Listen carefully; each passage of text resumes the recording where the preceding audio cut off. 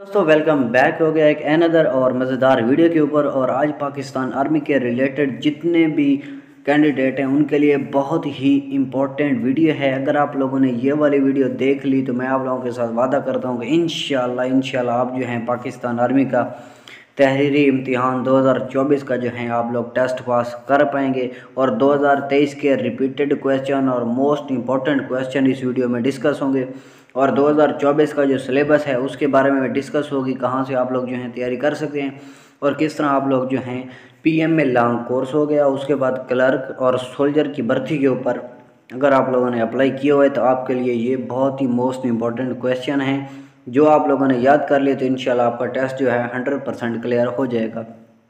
तो सबसे पहले बताना चाहता हूँ कि अगर पी एम लॉन्ग कोर्स में आप लोगों ने अप्लाई किया हुआ है और आप लोगों को कोई मसला आ रहा है या रजिस्ट्रेशन के रिलेटेड कोई मसला आ रहा है या आपके रोल नंबर स्लिप का कोई मसला है तो आप कमेंट करके लाजमी से मुझसे पूछ सकते हैं और आप लोगों को एक आगाह करता चलूँ, आप लोगों को समझाता चलूँ। कि पी एम लॉन्ग कोर्स के लिए आप लोगों ने किसी को ना पैसे देने हैं, ना कोई पेड नोट्स वगैरह लेने हैं, कोई चीज़ भी आप लोगों ने सोशल मीडिया से बाय नहीं करनी वो सब फेक होता है। वो यही वीडियो होती हैं जो हम आप लोगों को दिखाते हैं। सही है ना? यही होती हैं। आप लोग उनको पैसे देते हैं, वो आपको उनका पीडीएफ बनाकर आप लोगों को सेंड कर देते हैं और वो आप लोगों को जो है लूट कर खा रहे हैं। हालाँकि उनकी यूट्यूब से भी अच्छी खासी अर्निंग हो रही होती है। तो ऐसे धोखेबाजों से यार आप लोग जो हैं होशियार रहें। मैं आप लोगों को ये नहीं कहता कि आप लोग पैसे भरें या ना भरें। वो आगे आप लोगों की अपनी मर्ज़ी है। लेकिन अगर आप लोगों ने सही तरह तैयारी करनी है तो आप जल्दी से हमारे चैनल को सब्सक्राइब कर दें। और बेल आइकन कॉल पर प्रेस कर दें ताकि ऐसी इन्फॉर्मेटिव वीडियो मिलती रहे और पी एम लॉन्ग कोर्स के जितने भी क्वेश्चन होंगे, जो भी सवाल इंपॉर्टेंट हैं या इसकी एक बुक है, उसका नाम भी आप लोगों को एंड के ऊपर बताऊँगा। अगर आप लोगों ने वो बुक पढ़ ली, अगर आप लोगों ने ये एक प्रीपोजिशन टेस्ट शुरू हो रहा है, जिसमें पाँच वीडियोज़ बनेंगी। अगर आप लोगों ने ये पाँच की पाँच वीडियो देख ली तो आपका टेस्ट जो है हंड्रेड परसेंट क्लियर हो जाएगा। इसमें नॉन वर्बल वर्बल हो गया इंटेलिजेंस के और सारे क्वेश्चन आप लोगों को तरतीब वाइज यहाँ पर इस चैनल के ऊपर मिलेंगे। तो वीडियो बनाने का सिर्फ़ और सिर्फ़ मकसद एक ही है कि आप लोगों की जो है इम्तिहान में सौ फ़ीसद कामयाबी और ये हमारी दुआ है कि आप लोग इन इम्तिहान में कामयाब होंगे। और वीडियो बड़ी मुश्किल से बनती है, आप लोगों से एक छोटी सी रिक्वेस्ट है, चैनल को लाजमी से सब्सक्राइब कर दें। ये आपके लिए तो फ्री होता है, लेकिन हमारे लिए बहुत ज़्यादा अहमियत का हामिल होता है, ताकि ऐसा और अच्छे से अच्छा कंटेंट जो है हम क्रिएट कर सकें। तो चलो चलते हैं कंप्यूटर की स्क्रीन पर और आपको कुछ ऐसे मोस्ट इंपॉर्टेंट क्वेश्चन बताते हैं, जो वाले अगर आप लोगों ने याद कर लिए तो इन सौ फ़ीसद, हंड्रेड परसेंट कन्फर्म है कि वो आप लोगों के टेस्ट में लाजमी से आएँगे। सबसे पहला जो P M L long course preposition का टेस्ट है, वो बहुत ही मोस्ट इंपॉर्टेंट क्वेश्चन है। ये इंग्लिश के भी हैं, उसके बाद फिज़िक्स के भी हैं, कुछ केमिस्ट्री के भी ऐड किए गए हैं। क्योंकि आप लोगों की थोड़ी थोड़ी करके तैयारी होगी तो जब आप लोग इम्तिहान में बैठेंगे तो आप लोगों को किसी चीज़ की टेंशन परेशानी नहीं होगी। आपका टेस्ट जो है हंड्रेड परसेंट क्लियर होगा। और सारे सवालों को दो तीन मरतबा पढ़ूँगा एक एक सवाल को दो तीन मरतबा पढ़ूँगा। अगर कोई एक्सप्लेन करने वाला हुआ तो वो एक्सप्लेन भी करूँगा। आपको समझाऊँगा भी सही, लेकिन आप लोगों को कुछ ऐसे सवाल होंगे जो आप लोगों ने रट्टा लगाने, रट्टे का मतलब ये नहीं होता कि आप लोगों ने समझना नहीं है, लेकिन उसको कंसी अपना कंसेप्ट जो है वो हंड्रेड परसेंट इधर रखना है। अगर आप लोगों ने वीडियो स्किप करके देखनी है तो आपको इसका कोई फ़ायदा नहीं है तो इसके लिए आप लोगों से छोटी सी रिक्वेस्ट है वीडियो को स्किप करके ना देखें। अगर आप लोगों ने वीडियो को स्किप करके देखना है तो मैं आप लोगों को कहता हूँ कि आप इस वीडियो को छोड़कर जा सकते हैं, आपको अच्छा लगे या बुरा लगे, लेकिन है आप लोगों के फ़ायदे की बात बाद में बांट कर इसको लाजमी से सोचना। तो सबसे पहला जो सवाल है वो इंग्लिश का है कि Ali moved toward north side after some time कि वो कुछ टाइम के लिए जो है नॉर्थ साइड के ऊपर कुछ देर के बाद जो है हो गया साइड पर हो गया।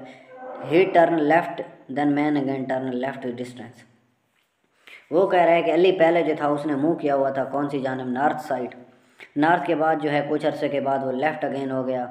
तो उसके सामने क्या आ गया? साउथ आ गया। तो फिर जो है वो किस तरह, किस डायरेक्शन में खड़ा होगा जब उसने मुँह को अपने को फेरा होगा तो वो साउथ की जानब होगा। तो नेक्स्ट हमारा जो सवाल है वो डिमेशन ऑफ़ इलास्टिक मॉडुलस तो ये मोस्ट इंपॉर्टेंट फार्मूला है। ये पाकिस्तान आर्मी में, पाकिस्तान एयरफोर्स में और नेवी में जितनी भी इलेक्ट्रिकल की ब्रांचेस थी, सबसे पहला जो था टेक्निकल का था। टेक्निकल के बाद जो है, जो एयरमैन की जॉब आई थी, उसमें भी ये बार बार रिपीट होता रहा। है ये मॉडुलस का जो सवाल है, ये मोस्ट इंपॉर्टेंट क्वेश्चन है कि ऑफ़ इलास्टिक मॉडुलस तो M L minus one T minus two इसका जो है ये फार्मूला है। तो नेक्स्ट हमारा जो सवाल है the resistance of conductor at absolute क्या रेजिस्टेंट की जो कंडक्टर होती है, वो एप्सल्यूट जो होती है कि क्या होती है?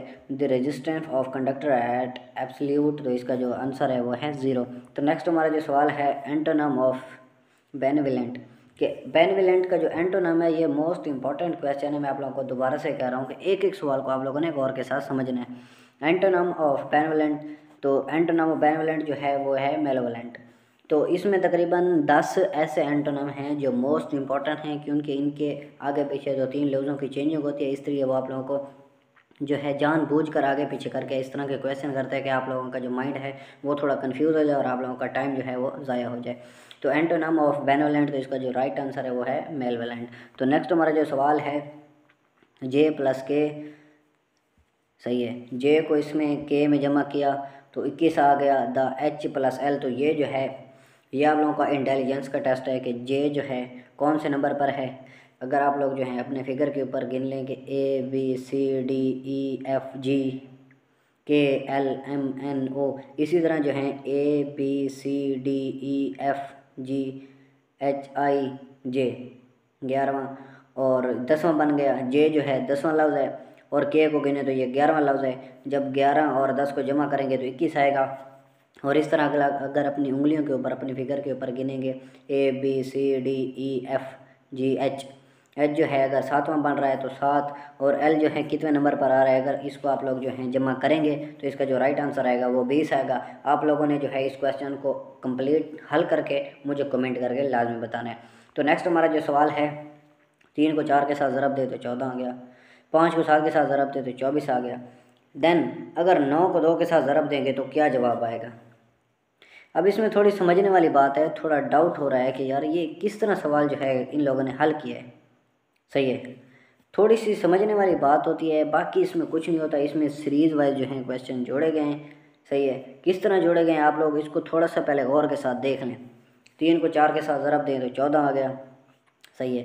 पाँच को इसके साथ ज़रब दें तो ये कितना आएगा तो ये जो है, किसी चीज़ की समझ नहीं आ रही, सही है। तो इसी तरह जो है आप लोग जो हैं, ये सीरीज़ वाले क्वेश्चन आप लोगों को एंड के ऊपर एक्सप्लेन करके सारे डिटेल से समझाए जाएँगे। लेकिन इस सीरीज़ को आप लोग और से देख लें।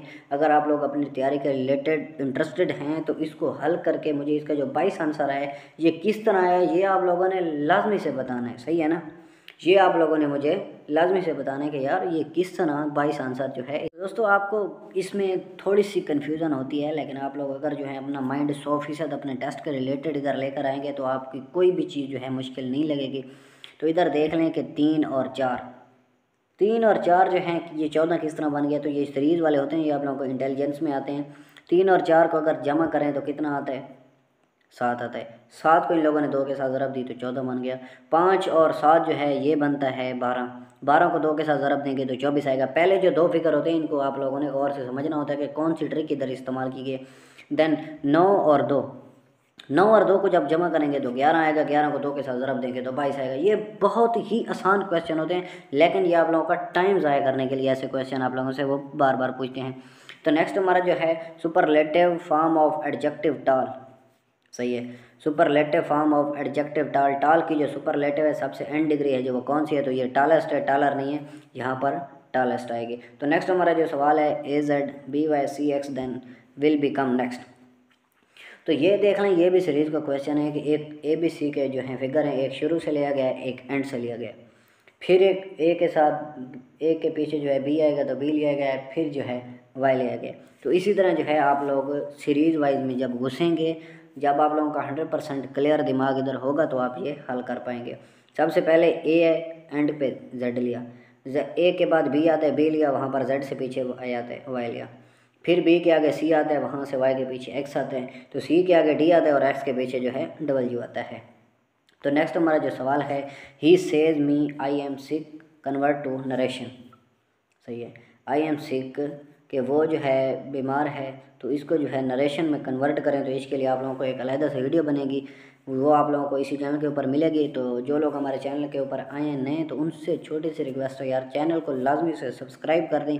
अगर आप लोगों ने जो है P M L long course की मुकम्मल तैयारी करनी है, वो भी फ्री में और हंड्रेड परसेंट क्लियर तैयारी करनी है तो लाजमी से चैनल को सब्सक्राइब कर दें। तो इसका जो राइट आंसर है, वो है ही टेल्स मी सेहत की जगह जो है टेल तब्दील हो गया, ही की जगह ही आएगा। इनकी कुछ ऐसी बनावट होती है, वो आप लोगों को एंड के ऊपर सारी चीज़ डिटेल के साथ समझाएगी कि ही सेज सेज की जगह हमेशा टेल्स आएगा he tells me I.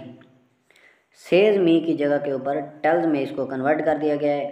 I am का मतलब जो है, इसकी जो, जब इनको चेंज किया जाएगा, इनकी कन्वर्टन की जाएगी तो इसमें एम आई मी आएगा।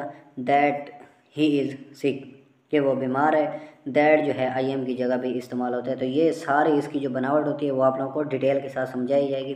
तो नेक्स्ट हमारा जो सवाल है twenty men complete their work eighteen days then ten complete their work सही है कि बीस आदमी हैं, वो अपने काम को जो है अठारह दिनों में मुकम्मल करते हैं। तो क्या वही काम दस बंदे कितने दिनों में मुकम्मल करेंगे? तो यहाँ पर थोड़ा कॉन्फिडेंस होना चाहिए बंदे के अंदर। अगर कॉन्फिडेंस होगा तो आप लोगों का टेस्ट जो है हंड्रेड परसेंट क्लियर हो जाएगा। बीस आदमी एक काम को अठारह दिन में करते हैं। अगर आदमी जो है दस कम कर दिए जाएँ तो दिन जो है डबल लगेंगे। तो जब अठारह को दो के साथ ज़रब करेंगे तो छत्तीस जवाब आएगा। लेकिन वहाँ पर आप लोगों ने कन्फ्यूज़न में नहीं रहना। आप लोगों ने सिंपल सा सारा दिमाग फुल फोकस क्वेश्चन के ऊपर लगाना है ताकि आप लोग जो हैं ज़्यादा से ज़्यादा क्वेश्चन अटैम्प्ट कर पाएँ कम टाइम में।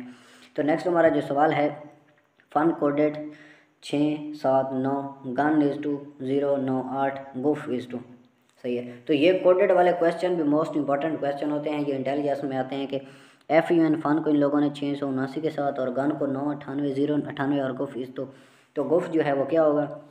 सबसे पहले देख लें एफ़ जो है वो सिक्स की जगह यू सात है एन जो है वो नौ है। तो आगे जो है जी जो है वो ज़ीरो की जगह है और यू नौ और एन जो है वो आठ की जगह है तो जी यू एफ़ का जो है कोड कैसे बनेगा? तो सिंपल से देख लें, गन में जो है जी जो है जी की जगह आएगा ज़ीरो और यू जो है यू का कोड है यू का कोड आप लोगों को पता होगा नौ है तो यहाँ पर नौ आएगा और एफ़ का जो कोड है वो छः है तो यहाँ पर छः आएगा।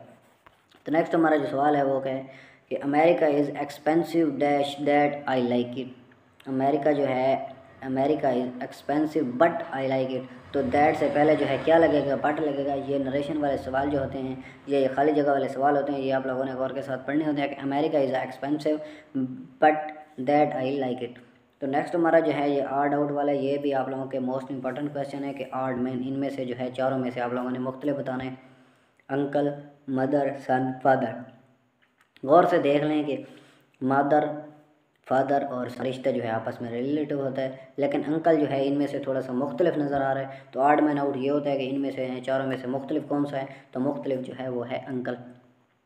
तो नेक्स्ट हमारा जो सवाल है कि a graph use to represent the frequency distribution of few data point of over variable known as तो एक ग्राफर जो होता है a graph use to represent the frequency distribution of few data points of one variable known as तो इसको जो है हिस्टोग्राम डेफिनेशन की हिस्टोग्राम की जो है ये डेफिनेशन है। तो नेक्स्ट हमारा जो सवाल है कि वो पूछ रहा है कि rocket is example of which law के रॉकेट जो होता है वो किस चीज़ की एग्जांपल है? तो ये न्यूटन के थर्ड ला की जो है एग्जांपल है रॉकेट जो है ये न्यूटन के थर्ड ला की एग्जांपल है। तो नेक्स्ट हमारा जो सवाल है पाई एक्स बराबर है छत्तीस तो इसको जो है हल किस तरह करेंगे?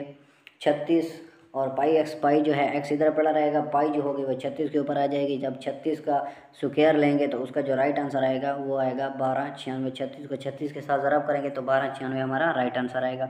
तो नेक्स्ट हमारा जो सवाल है sum of all even number between one to twenty one इसमें से जो है, सारे नंबर जो हैं, जमा करते जाएँ। इवन नंबर एक, तीन, सही है, तीन के बाद पाँच, सात, ग्यारह, तेरह पंद्रह हो गया, सत्रह हो गया, उन्नीस हो गया, उसके बाद तेईस हो गया। इसी तरह आप लोग जो हैं, अगर सारे नंबर जमा करते जाएँ एक से इकतीस तक तो इसका जो राइट आंसर रहता है, वो आता है दो सौ चालीस। तो ये भी आप लोगों का माइंड चेक करने के लिए इस तरह के सवाल दिए जाते हैं। तो नेक्स्ट हमारा जो सवाल है eight man take a water tank एक सौ पच्चीस volume fill one week how many tank volume four weeks सही है।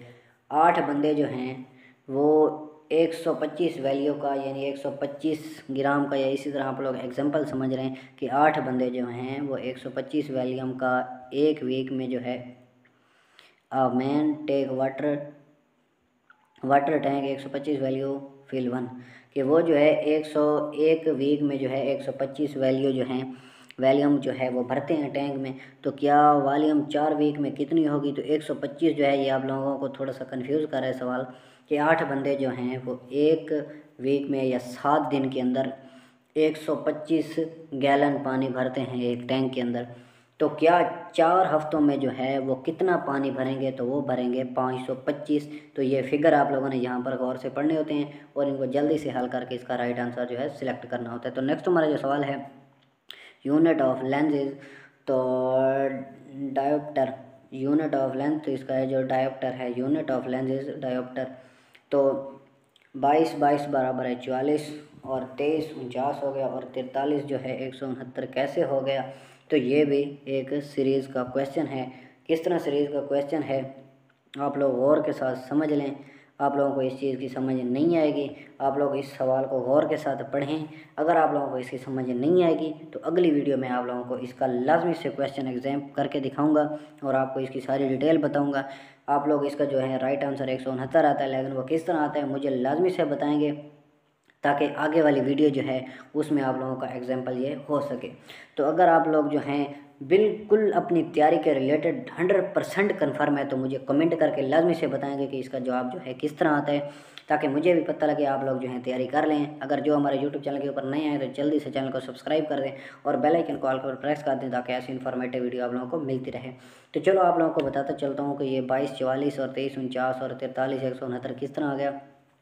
तो यहाँ पर वो मुरबा ले रहे हैं, हर एक फिगर का। दो का मुरबा चार आ गया, दो का मुरबा चार आ गया, बाईस का मुरबा कितना हो गया? चवालीस। तो तेईस आगे जो है, दो का मुरबा जब अलहदा लेंगे तो चार आ गया, तीन का लेंगे तो नौ आ गया। तो चार का मुरबा जो है, वो सोलह आता है और तीन का मुरबा कितना आता है? नौ आता है। तो इसलिए ये एक सौ उनहत्तर सवाल है। लेकिन जब आप लोग क्वेश्चन कमरे में बैठे होंगे तो वहाँ पर आप लोगों को इस सवाल की समझ नहीं आएगी। अभी से कह रहा हूँ कि अपनी तैयारी को हंड्रेड परसेंट क्लियर करें। अगर आप लोग हंड्रेड परसेंट क्लियर नहीं करेंगे तो वहाँ पर ऐसे ही मुँह उठाकर बैठे रहेंगे। तो नेक्स्ट हमारा जो सवाल है, वो भी इसी तरह सीरीज़ वाई है। कि इसमें जो है कितनी सीरीज़ चल रही है। सबसे पहले हम लोगों ने देखनी होती है सीरीज़, कि कितनी सीरीज़ जो है इसमें चल रही है। तो ये भी सीरीज़ वाइज क्वेश्चन है। दो, आठ, चौदह, इक्कीस, उनतीस, अड़तीस, उसके बाद आ गया अड़तालीस। तो दो में जो है आठ में, दो में छः जमा करें तो आठ आता है। आठ में जो है छः जमा करें तो कितना हो गया? चौदह। चौदह में जो है सात जमा करें तो इक्कीस। इक्कीस में आठ जमा करें तो कितना हो गया? उनतीस। में अगर जो है नौ जमा करें तो अड़तीस, और अड़तीस में अगर दस जमा करें तो अड़तालीस आता है। ये इसी तरह कि एक एक फिगर ज़्यादा करके इसमें जमा किया जा रहा है तो ये आप लोगों का माइंड चेक करने के लिए इस तरह के क्वेश्चन किए जाते हैं। तो नेक्स्ट है कि focal length of F is positive mirror will be अगर फोकल लेंथ जो है, वहाँ पर एफ़ पॉजिटिव हो तो मिरर कौन सा होगा? तो ये होगा कनकेव मिरर सही है। One fifth of one tenth तो ये आप लोगों को मैं एग्जांपल के तौर पर बताता हूँ कि वन फिफ्थ एक बटा पाँच, और यहाँ पर है वन टेंथ। एक बटा पचास, सही है। जब हम इसको ज़रब करेंगे तो ये जो है किस तरह एक बटा पचास आएगा, सही है? तो ये जो है, जब इसको हम वन फिफ्थ, कि एक बट्टा का पाँच, सही है? एक का पाँचवा हिस्सा ऑफ़ वन टेंथ, एक बटा पचास, सही है।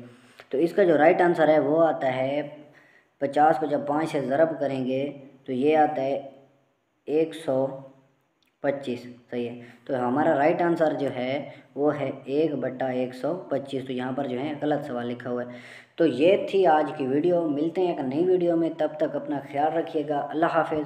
और हमारे चैनल को लाजमी से सब्सक्राइब कर दें ताकि ऐसी इन्फॉर्मेटिव वीडियो आप लोगों को मिलती रहे। तो इसी चैनल के ऊपर जो है, यहाँ पर अब सीरीज़ शुरू हो चुकी है। तो हफ़्ते में तीन वीडियो अपलोड होंगी। अगर आप लोगों ने वो तीनों की तीनों वीडियो देख ली तो आपकी पंद्रह दिन के अंदर तैयारी बिल्कुल मुकम्मल हो जाएगी। और आप लोग मुझे कमेंट करके बताएँगे कि आप लोगों के टेस्ट कब से शुरू हो रहे हैं। क्योंकि जिन लोगों ने रजिस्ट्रेशन पहले कराए होते थे, उनके टेस्ट पहले होते हैं। जिनने बाद में कराए होते थे उनके टेस्ट बाद में होते हैं। तो सबसे शुरू में जब आप लोगों का टेस्ट स्टार्ट हो तो कमेंट करके मुझे लाजमी से बताएँगे। उसी तरीके से जो है आप लोगों को वीडियो यहाँ पर इसी चैनल के ऊपर मिलेंगी। अगर दिन में दो वीडियो की ज़रूरत हुई तो आप लोगों को दो मिलेंगी। तीन की ज़रूरत हुई तो तीन मिलेंगी। तो ये थी आज की वीडियो मिलते हैं एक नई वीडियो में। तब तक अपना ख्याल रखिएगा। अल्लाह हाफिज़।